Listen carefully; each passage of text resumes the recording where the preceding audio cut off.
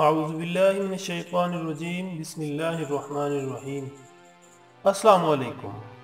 ناظرین، اکثر آپ لوگوں نے سنا ہوگا کہ دنیا کے کچھ ایسے مقامات ہیں جہاں چھ مہینے سورج چمکتا ہے اور چھ مہینے اندھیرا رہتا ہے۔ کچھ ایسے ہی نارتھ پول کے مقامات کے بارے میں ہے۔ لیکن ناظرین، سب سے پہلے ذہن میں رہے یہ اندھیرا یا دن مکمل چھ ماہ تک نہیں ہوتا اور نہ ہی نارتھ پول کے تمام علاقوں میں اس طرح ہوتا ہے۔ ان مقامات میں سے ایک شمالی ناروے کا ایک شہر ٹرمسو اور رزوویا گاؤں بھی شامل ہے گرمیوں میں ٹرمسو شہر میں شام نہیں ہوتی سورج اس شہر میں چوبیس گھنٹے چمکتا ہے۔ شہر میں مشرق اور مغرب کی سمت کا تعین کرنا بھی مشکل ہوتا ہے۔ سورج چھتوں پر بھی نہیں پہنچتا، یہ صرف کھڑکیوں اور دروازوں پر دستک دے کر آگے بڑھ جاتا ہے۔ ناظرین، اگر آپ زمین کا گلوب دیکھیں تو آپ کو نارتھ پول اس کی چوٹی پر نظر آئے گا۔ نارتھ پول دراصل زمین کی چھت ہے اور اس چھت کے گرد دائیں سے بائیں سورج گھومتا ہے۔ سورج گھومنے کے دوران اسے ایک خاص زاویے سے فوکس رکھتا ہے اور یوں شمالی ناروے میں رات نہیں ہوتی۔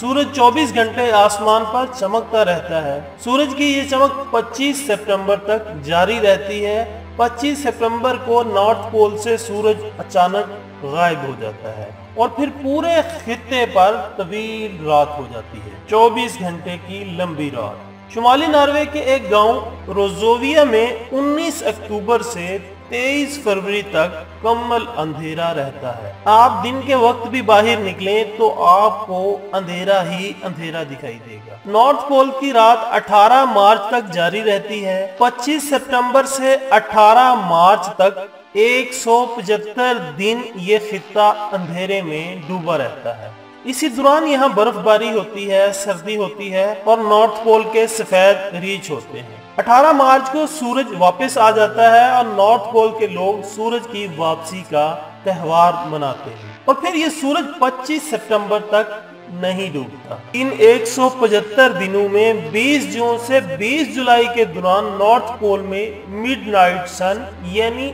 آدھی رات کا سورج رہتا ہے۔ سورج دائیں سے بائیں گھومتے ہوئے رات کے بارہ بجے تک نقطہ انتہا تک پہنچتا ہے اور پھر ڈوبے بغیر آگے کا سفر شروع کر دیتا ہے۔ ناظرین، یہ ایک حیران کن حقیقت ہے کہ سورج آپ کے سامنے مشرق سے مغرب تک جاتا ہے اور پھر وہاں آپ رات کے بارہ بجے سورج کو دن کے بارہ بجے کی پوزیشن پر دیکھتے ہیں۔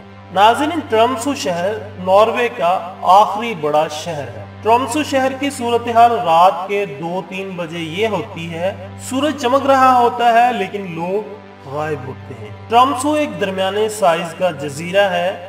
یہ جزیرہ سمندر کے درمیان واقع ہے۔ اس کے چاروں اطراف میں سمندر ہے۔